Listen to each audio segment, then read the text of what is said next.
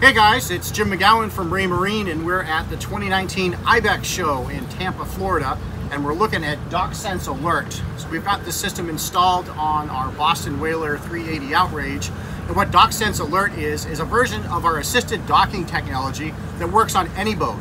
We've outfitted this boat with stereo vision cameras that can very precisely see objects all around the boat and warn us about their proximity. So we're gonna head back towards the dock and take a closer look. All right, so now we're headed towards the dock here at IBEX. We've got this nice floating dock off our port side, and you can see up here, the visual camera is already picking up the image of the dock, the gangway, and some of the lights that are up there. So these cameras have two lenses on them. So just like our eyes on our in our head, they have depth perception. So they can very precisely measure the distance to the dock they can also gauge the height of objects. So notice the different color coding we've got in here.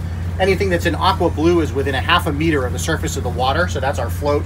And anything that's green, yellow, orange, or red uh, is higher than a half a meter. So we're seeing the railings on the gangway over there.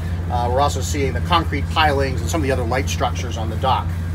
Now we have an alert zone of three feet set up alongside the boat, and you can see most of our port side has gone into red alert because we're within three feet of the dock. So we're maneuvering in this slip here and we're going to make a 90 degree turn to starboard and as the camera turns you'll see the edge of the slip here coming into view and up here on our overhead view you can also see it'll begin to image the dock to make our turn.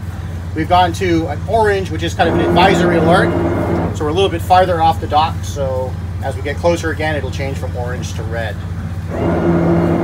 Anytime we want to enlarge the picture and just get a closer look at what's going on, just a swipe of your finger, uh, we'll pull it open, and with a swipe I can send it back. You can also get a full screen view of the DockSense Alert display. So DockSense Alert is coming out this year from FLIR in Raymarine, so watch for more information on it on raymarine.com. Thanks for checking it out.